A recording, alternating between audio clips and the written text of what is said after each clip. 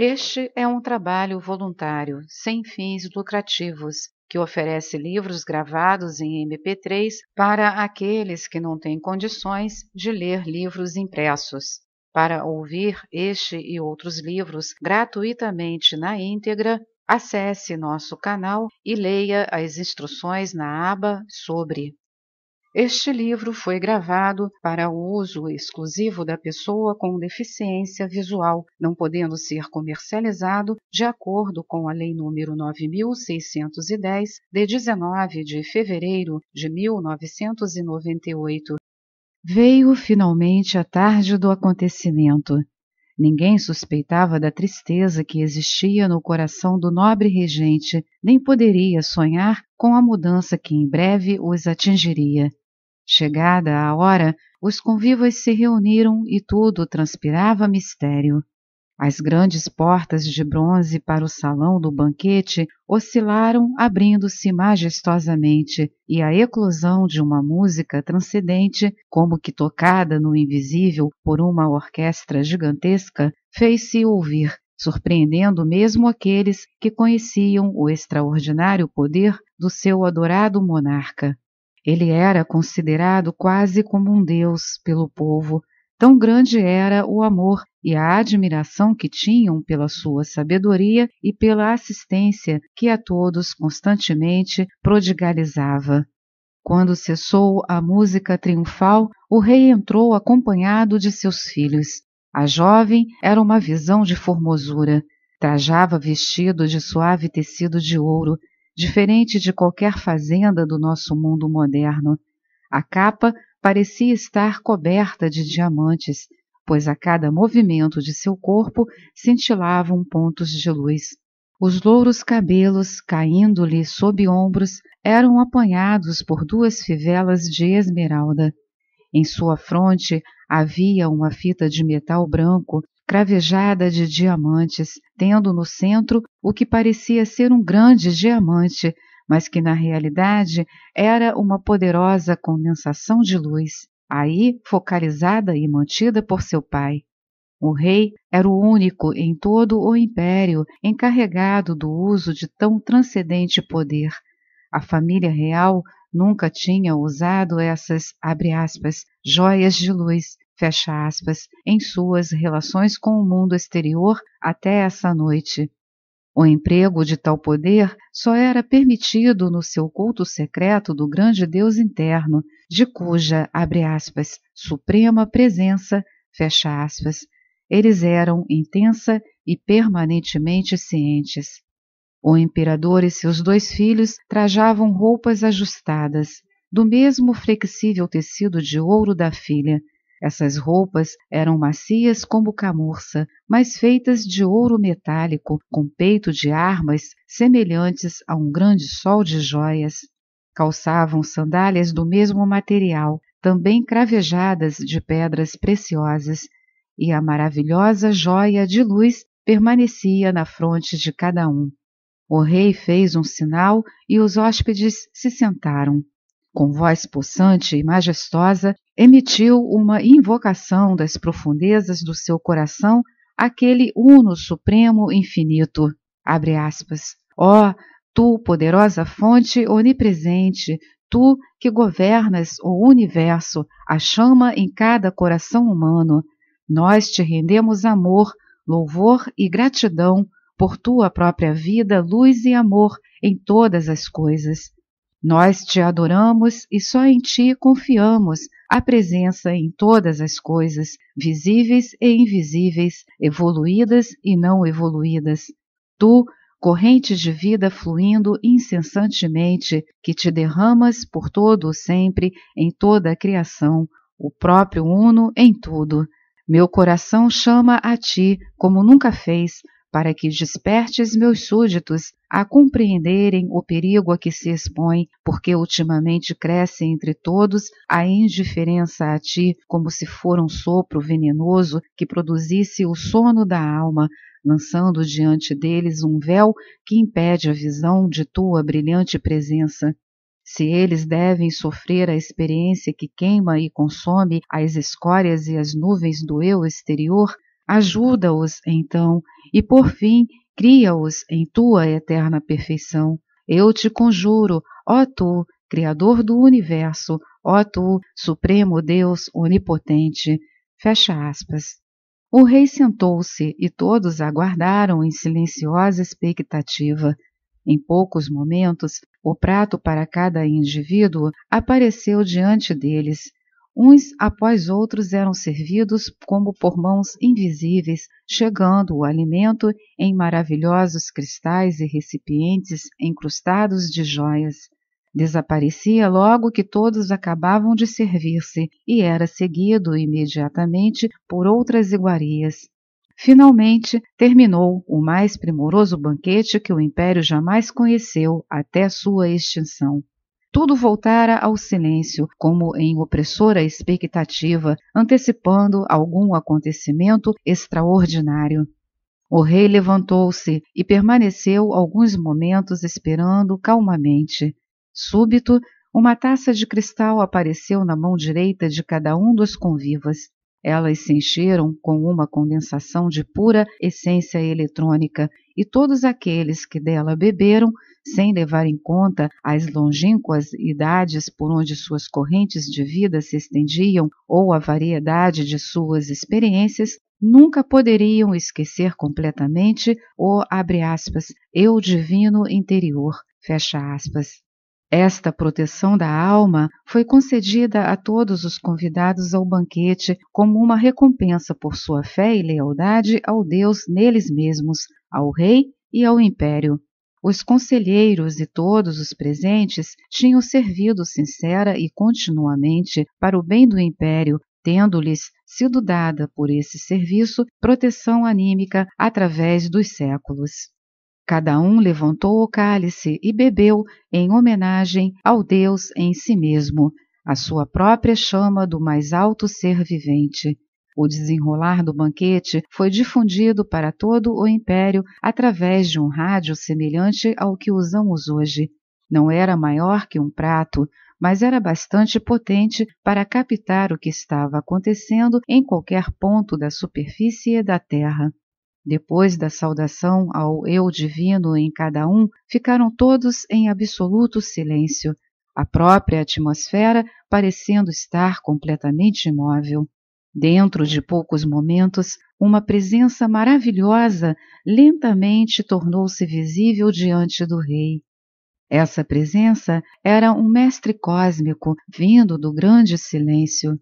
Um murmúrio de medo e de surpresa passou pelos convivas mediante essa aparição, como se reconhecessem com assombro um daqueles de quem tinham ouvido falar durante muitos séculos, mas cuja presença visível ninguém ainda tinha visto. Erguendo a mão direita, assim se dirigiu aos presentes e a todos os habitantes do império.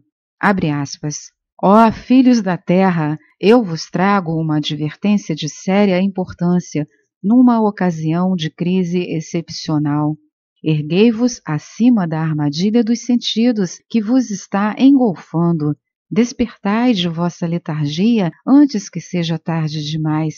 Vosso rei, meu irmão de luz, deve retirar-se e deixar-vos entregues à experiência que escolhestes, e que lentamente estava os seduzindo na direção de suas várias ciladas. Vós mesmos vos entregastes à ignorância e às emoções descontroladas do eu exterior. Pouca atenção e ainda menos adoração à vossa fonte, o Supremo, o Poderoso, o Radiante, o Majestoso, a causa infinita de tudo que existe, o Criador e mantenedor de todos os mundos.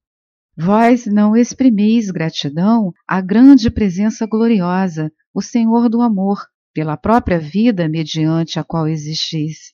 Ó, oh, por que não sois gratos nem ao menos pelas bênçãos que a natureza tão prodigamente derrama, pela abundância que vos vem através desta linda terra e de vosso próprio governante, sábio e altruísta, Vós agradeceis uns aos outros os favores, coisas do sentido e da forma que são tão efêmeras, que passam de pessoa a pessoa e se acabam. Mas por quê, ó, oh, por que esqueceis a fonte de toda a vida, todo o amor, toda a inteligência, todo o poder? Povo, ó povo, onde está vossa gratidão à vida pelo amor, pela magnificência da experiência que usufruis a cada momento, a cada hora, todos os dias, ano após ano? Dizeis ser vosso tudo isso, mas tudo sempre pertenceu, pertence e pertencerá à grande e única fonte de vida, luz, amor e todo o bem, Deus, o Supremo, o Adorável, o Onipenetrante. Depois que criastes, pelo próprio abuso da energia de vida pura, perfeita e imaculada que o Onipenetrante derrama sobre vós constantemente, condições tão destrutivas e penosas que não podeis suportar, vos voltais em desespero, agonia ou rebelião e pedes a Deus para aliviar vossa miséria. Esta é a vossa oferenda ao doador de todo o bem, em retribuição pela incessante perfeição que ele distribui continuamente em supremo amor. A única condição mediante a qual o grande eu interno tudo dá é usar tudo corretamente, para que ele possa abençoar o resto da criação com infinita alegria, harmoniosa atividade e perfeição. Quando no abismo da miséria voltais novamente à vossa fonte para a reparação de vossos delitos, chamais na agonia do desespero, ou, se rebeldes sois, culpais a vida e a fonte de todo o bem, por permitirem a existência do que chamais injustiça e condições errôneas em vós e no mundo que vos rodeia. Entretanto, vós, o pequeno eu pessoal, é que sois injustos para com a vida, vós que sois incorretos, vós que criais a miséria da terra, porque só a humanidade, com o livre arbítrio para criar o que lhe aprouver, agindo cada indivíduo por seus próprios pensamentos e sentimentos, ousa trazer à existência a discórdia, a miséria e a deformidade que se manifestam sobre a terra. Isso constitui uma nódoa para a criação e a perfeição, porque vibra para sempre na grande melodia cósmica da canção eterna. Só a humanidade é culpada de causar dissonância na música das esferas, porque tudo o mais vive e age de acordo com a lei do amor, da vida, da harmonia e da luz. Tudo o mais se mistura no todo harmonioso, o corpo do infinito, todo harmonioso que tudo ama. Todos os outros reinos de vida e luz se movem e criam segundo o princípio fundamental em que repousa toda a perfeição. Este princípio é amor. Não fossem os grandes seres altruístas como o vosso governante da grande hoste dos mestres ascensionados, cuja verdadeira nota-chave de existência é amor, a humanidade há muito já teria destruído a si mesma e ao próprio planeta sobre o qual vive. As transcendentes e magnificentes atividades de amor e luz são as condições naturais nas quais Deus criou seus filhos humanos e esperou que eles se manifestassem, obedecendo à sua ordem, amar. Não há condição sobrenatural em parte alguma do universo tudo o que é transcendente, belo e perfeito é natural e de acordo com a lei do amor. Qualquer coisa fora disto é subnatural. A experiência diária da hoste dos mestres ascensionados é a perfeição em que os filhos de Deus foram destinados a viver sempre. Os filhos da terra expressaram sua perfeição uma vez em um ciclo anterior, que foi uma idade de ouro. Essa civilização anterior, essa antiga perfeição, é mais velha do que imaginais, mais velha do que suponde ser o planeta. Toda a humanidade nesse período vivia num estado transcendente, semelhante ao dos mestres ascensionados. As condições de miséria que sobreviveram a essa época através dos tempos surgiram porque a humanidade preferiu desviar-se de sua fonte, o amor, como conduta para viver a vida. Quando os filhos da terra desviam os olhos do amor, estão escolhendo deliberada e conscientemente a experiência do caos. Aquele que procura viver sem amor não pode sobreviver por muito tempo em lugar algum da criação. Tais esforços estão destinados a acarretar fracasso, miséria e dissolução. Tudo o que se ressente da falta de amor deve voltar ao caos informe para que sua substância possa ser novamente usada em combinação com o amor, produzindo assim uma forma nova e perfeita. Esta é a lei tanto da vida universal como da vida individual. Ela é imutável, irrevogável, eterna, entretanto benevolente, porque a criação manifestada na matéria existe para que Deus possa ter alguma coisa onde derramar amor e assim expressar-se em ação. Esta é a lei do Uno Poderoso, da qual tudo mais procede. Ela é o mandato da eternidade e a vastidão, o esplendor dessa perfeição não podem ser descritos por meio de palavras. Se não houvessem essas atuais, reais, permanentes e perfeitas condições de vida e experiência que transcendem em muito a descrição humana, a existência seria apenas uma máscara sobre a estupenda atividade de vida que vibra eternamente em toda a criação. Existem aquelas mais altas, harmoniosas, transcendentes esferas reinos de atividade e consciência individual e cósmica, onde a criação permanece continuamente em alegria, em amor, em liberdade e em perfeição.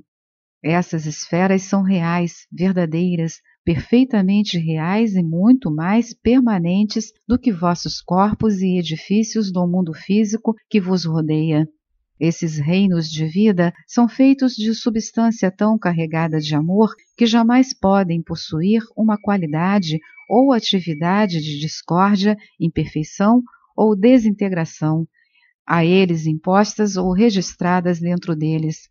Como são baseadas no amor, a perfeição de tal manifestação é mantida eternamente, sempre ativa, sempre expansível, abençoando sempre com alegria tudo o que existe.